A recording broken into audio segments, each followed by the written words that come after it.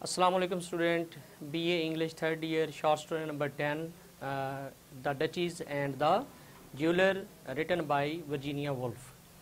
Uh, in this lecture this is lecture number 2 and in this lecture I would like to talk about like to discuss the expected question that are uh, uh, that are about to happen that are about to come in the upcoming exams. Maybe. Okay तो हम शुरू करते हैं अपना जो है lecture number two है। तो इसमें जो है हम expected questions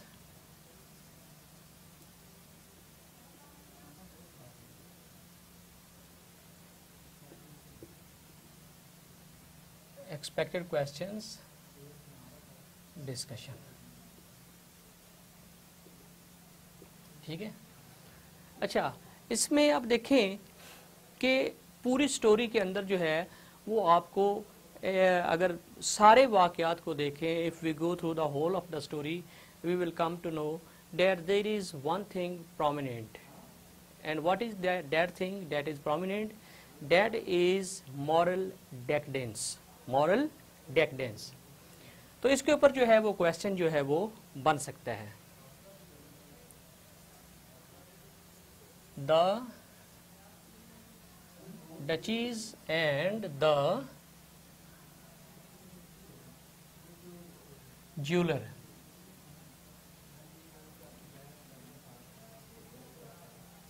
Shows the moral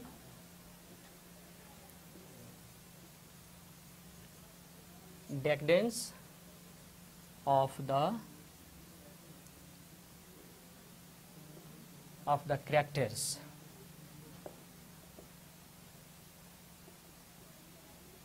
Discuss let's suppose कि ये मॉरल डेक्टर्स के ऊपर जो है वो क्वेश्चन आ गया है कि ये जो डचीज एंड द ज्वेलर है shows the moral decadence of the characters इसके अंदर जो करेक्टर्स हैं, उनके एक मॉरल डेकडेंस है, उसको आपने डिस्कस करना है। तो ये एक बड़ी मेजर जो असाइनमेंट है वो इस स्टोरी के अंदर है कि ये मॉरल डेक्रेडेशन को, ये जो स्टोरी है, ये बयान करती है। अच्छा हमें देखना पड़ेगा कि what was a thing that caused moral decadence कि वो चीज़ क्या थी?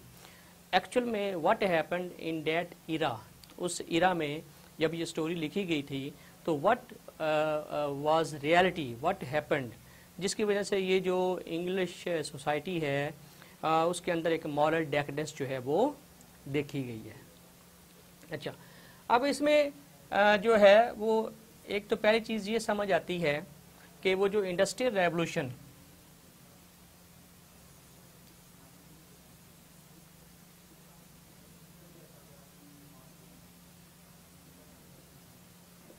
industrial revolution of England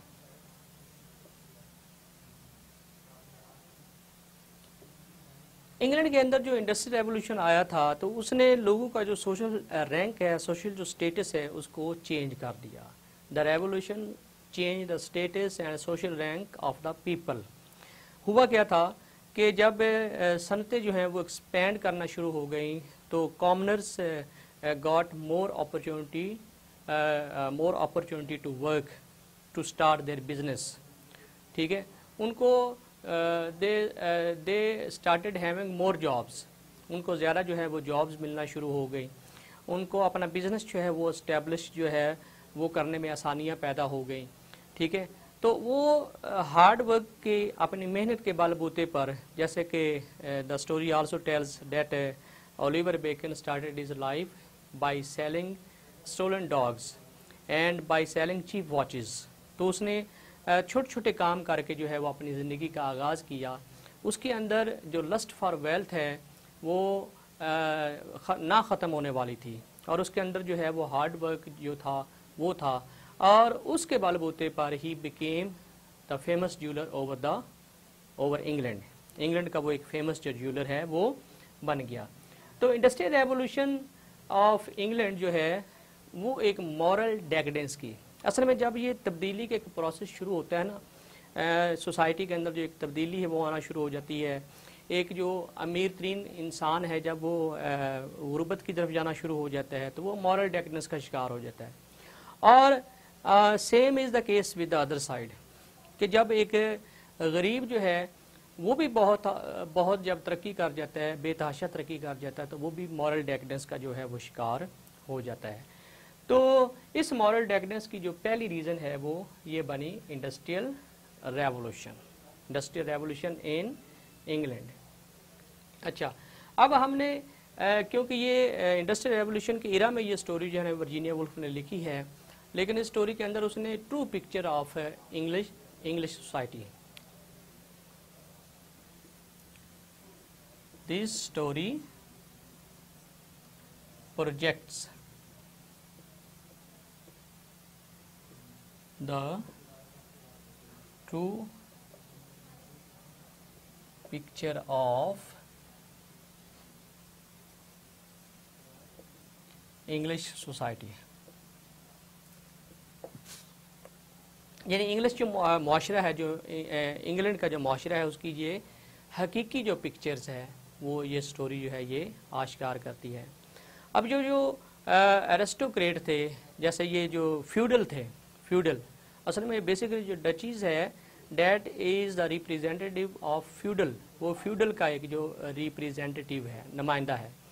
अब फ्यूडल में ये हुआ था कि वो उनकी जो डिवीज़न आफ्टर डिवीज़न ज़मीनें जो हैं, वो तकसीम होना शुरू हो गई। और आहिस्ता आहिस्ता जो उनकी जो ग्रिप है वो वीक पड़ गई, ठीक है? यानी उनका स्टेटस जो है वो लो होना शुरू हो गया। और दूसरी तरफ़ जो आम आदमी, जो कॉमनर्स हैं they started raising their status उनका जो स्टेटस है वो जो है वो बढ़ना शुरू हो गया। अब ये देखें इस स्टोरी के अंदर हमने आगे फिर एलेबोरेट करना होता है and we have to take the logic from the story story से हमें जो है वो लॉजिक जो है वो लेनी होती है कंसेप्ट uh, लेने होते हैं और इसको चीज़ को प्रूव करना होता है। ठीक है? इंग्लिश सोसाइटी के ऊपर भी इसके ऊपर एक है कि this story is a true picture of English society ये भी और इंडस्ट्रियल रेवोल्यूशन के ऊपर भी क्वेश्चन जो है वो आ सकता है। तो लिखना आपने स्टोरी के अंदर से ही अब ये देखें, मैं आपको पॉइंट्स बताता जाता हूँ। कुछ मैंने जो पॉइंट्स हैं very very important points I have already discussed in lecture one lecture one में मैं उनको डिस्कस कर चुका हूँ। अच्छा अब अगर आप ओलिवर का देखें Oliver lifestyle lifestyle and way of starting business उसका अगर हम लाइफ स्टाइल देखें और उसका जो बिज़नेस स्टार्ट की तरफ़ हम जाएँगे, कैसे how he started his business तो लाइफ स्टाइल ये है कि he started his life in filthy street एक गंदी गली से उसने ज़िंदगी का आगाज़ किया। He was a dirty dirty boy dirty child वो एक गंदा गलीज जो है वो लड़का था।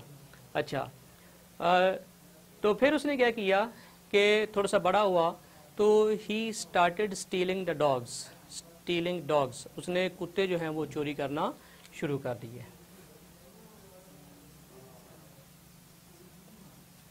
Stealing dogs and selling them. To rich ladies. ठीक है? यानी जो रिच लेडीज़, जो अमीर ख़वातीन थी, उनके सामने उसने उन डॉग्स को, वो जो स्टोलन डॉग्स हैं, उनको बेचना शुरू कर दिया। फिर उसने क्या किया कि उसने स्टार्टेड सेलिंग चीप वॉचेस कि जो सस्ती घड़ियाँ होती थी चीप वॉचेस होती थी, उनको उसने सेल करना शुरू कर दिया। फिर उसके साथ कुछ डायमंड्स लगे, कुछ इस तरह के स्टोन्स लगे precious and he made a lot of fortune अच्छा ये देखें, इसके अंदर भी एक मॉरल डेकडेंस है। ठीक है? अच्छा उसके बाद हम जो अब उसकी मीटिंग को देखते हैं। मीटिंग विद टचीज़ ठीक है ना? जब वो अपने ऑफ़िस में बैठा हुआ है and he is doing nothing he is counting his wealth he is watching uh, safe and he is opening the safe he is watching and counting his wealth ठीक है? तो वो कुछ नहीं कर रहा होता लेकिन वो क्या है कि जब उसको ये इन्फॉर्म किया जाता है कि that duchess of Lambourne has come to meet him तो वो उसको क्या करता है? Kept her waiting. Outside the office कि वो उसको इंतज़ार करवाए रखता है। तो यहाँ भी मॉरल डेकरेंस है कि a person may be if a person is busy in the office तो डैट इज़ जेनवन थिंग कि अगर एक बंदा ऑफ़िस में बिज़ी है और फिर किसी को इंतज़ार करवाए तो that is the case of no worry लेकिन if a person is doing nothing वो वो इतना प्राउड है, ठीक है, इतना वो इखलाकी तौर पर गिर चुका है मॉरल डेकनेस का शिकार है, कि he is happy with the idea that he kept duchess waiting outside the office for ten minutes अच्छा अब अगर डचीज ये ऐसा कर रही है तो दूसरी तरफ़ सॉरी जो ज्वेलर है वो ऐसा कर रहा है तो दूसरी तरफ़ जो है वो डचीज जो है, वो भी कोई इतनी वर्चुअस लेडी नहीं है। अच्छा वो क्या है जी? कि वो जब मिलती है she wants to sell fake pearls यानी ये भी मॉरल डेगरेंस है कि वो फेक जो पर्ल्स हैं, उनको बेचना चाहती है। She abuses her husband badly. अपने खामन को भी नहीं छोड़ती है। ठीक है? Even uses her daughter daughter हाँ। इवन के अपनी बेटी जो जो उसकी डॉटर डयाना है, उसको भी इस्तेमाल करती है। क्यों, क्या इस्तेमाल करती है? कि वो कहती है कि you are allowed to spend this weekend with Diana क्योंकि उसको पता है कि ये इसकी जो है, ये इसकी पल्स है। डयाना जो है, वो लीवर की पल्स है।